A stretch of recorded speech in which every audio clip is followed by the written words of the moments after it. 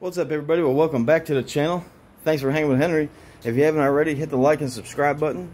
Subscribe to our channel. We're going to be doing some fun things here shortly and pastly. So everybody come check us out. Today we're going to be doing a little golf cart action. Yep, got the old club car. I've already built this thing. Uh, it's been about a, eight months ago we built it. The suspension work, did a whole lift kit on it. Uh, the body was the old gray body. We painted it. Um, obviously wheels and tires. Put a new rear deck on it. New bars, new seats. Pretty much just overhauling the whole entire thing. Today, we're going to finish up the roof. I'm going to show you how to install the roof on a golf cart. Uh, this is actually what I like to call the monster swap. Look at that. Big old Predator motor.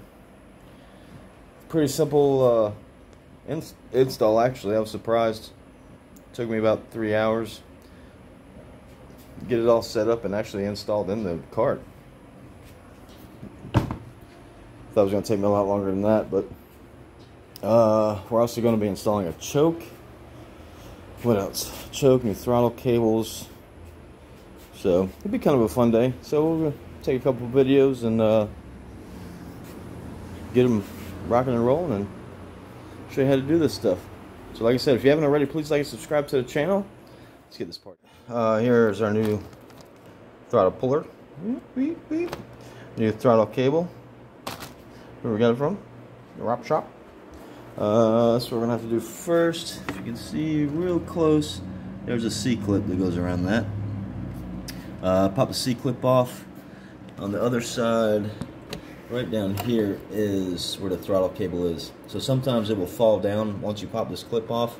Um, so a lot of times maybe just set something underneath it so it just holds tension on it so it don't fall through. But we'll take the C-clip off, we'll get this pulled off, get the other one installed. I've already got the end of the throttle cable off already. Uh, just gotta disconnect it from this side here. Usually on stuff like this I'll leave it on this end on the motor side that way I remember where it goes this side's very simple. I mean, this side's simple also, but you know, different applications. And like, I work on a lot of motorcycles, so I'll literally leave that there for right now. And then when I get to it, we'll get to it. Uh, we're gonna have to tap a hole in here, put the throttle cable in, and uh, keep on trucking. All right, and we're gonna go ahead and remove the choke cable so I can get the end off. Um, you know, this is realistically, I mean, it's pretty simple. Got a Phillips head screw right here that holds the. Now, in different setups, going to be different applications. Um, putting this motor in, this motor pretty much comes like I guess you'd say universal uh, for anybody to to put in any kind of cart. So they give you multiple when you buy this thing. It comes with like two or three different setups uh, as far as like the choke and the throttle cables and all that good stuff. I just gotta get the damn thing out of there. Alright, got it out. Um, pretty much that's it.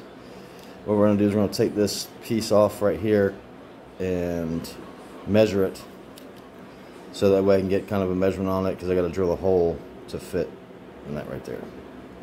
And like I said, you gotta take the bottom nut off. That way we get the proper uh, size and we'll drill a hole and get her mounted up. All right, so it looks like what I'm gonna do is I'm probably gonna drill a hole right through here. The customer's already got that closed up. Um, he's gonna do the same to this one here. These are old charging ports because it used to be electric golf cart. So probably what I'm gonna do is I'm gonna probably tap it right there because it'll literally run straight back to where the choke is. Be the best way back, no kinks or anything like that. So let's get after it. Got the old one pulled off, and like I said, it will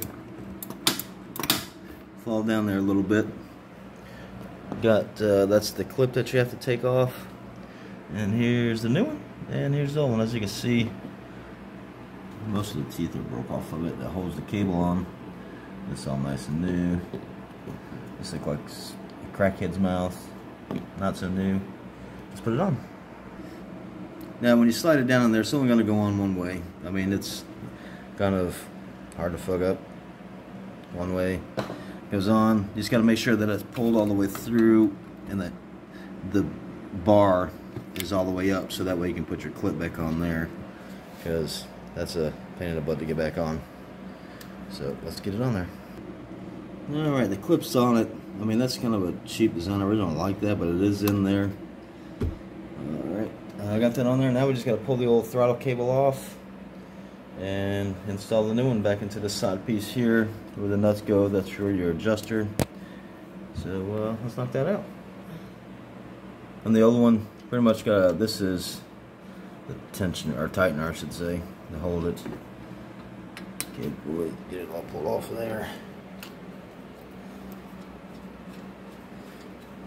Sometimes these will be under some tension.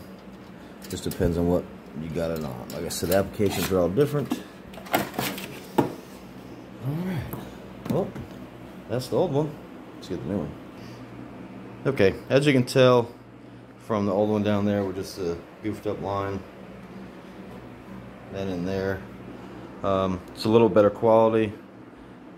That I'm not sure how it's going to work because that's not going to go through the tensioner. So I'm probably going to have to cut that ball off and uh, try to figure something out because that's not going to work.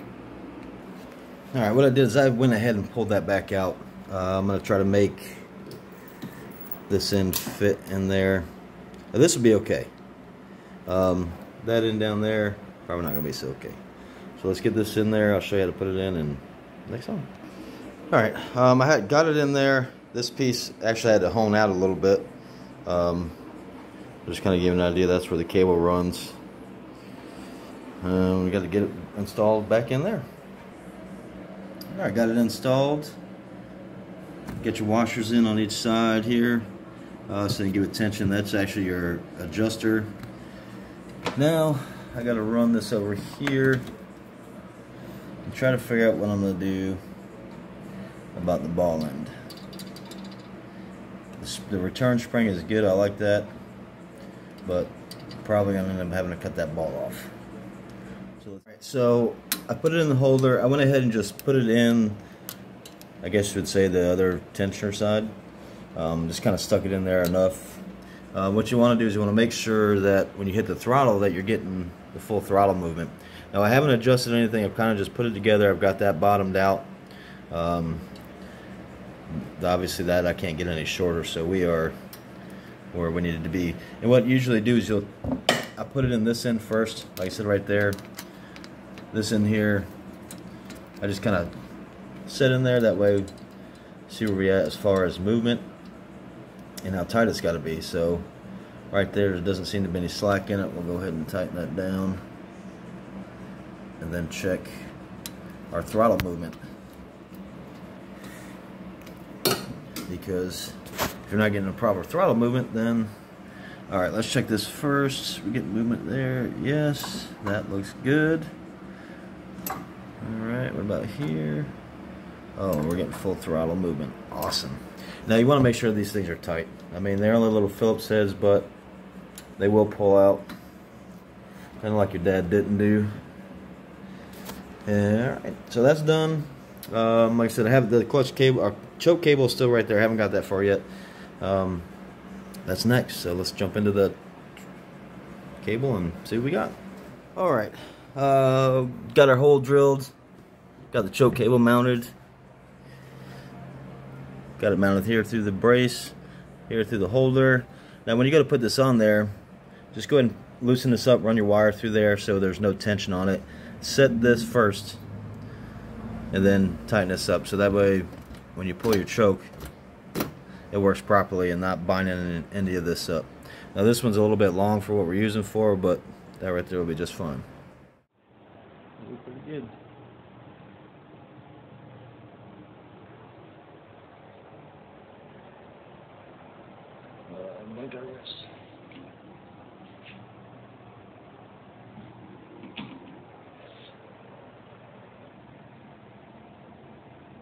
And a solid brake light.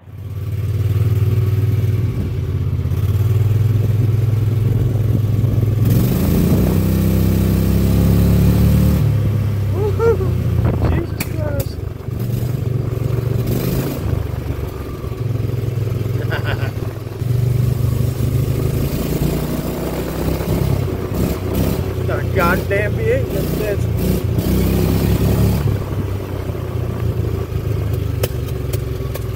Backfire got the little burble tune on it.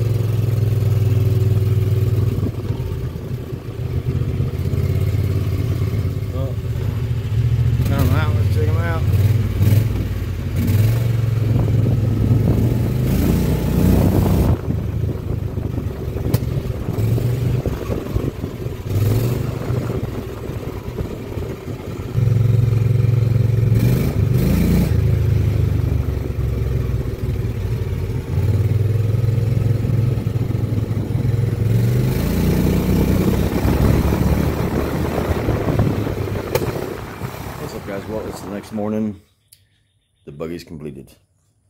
Got everything done last night, late last night. My phone went dead, so I couldn't finish making any of the videos. let's check her out. Thank you. Got all my wiring and stuff. We left the old seat on there because we're working on it. Don't want to get it all greasy. You got brand new ones. But she's all hooked up. Predator motor's in. All my wiring is done. And they're as neat as possible. But got the new charging switch in with the dual ports. LED headlights are all in and tail lights. Pretty good. Well, guys, thanks for watching. That's a monster swap on a club car. Subscribe, hit the like button. Peace. Everybody have a great day.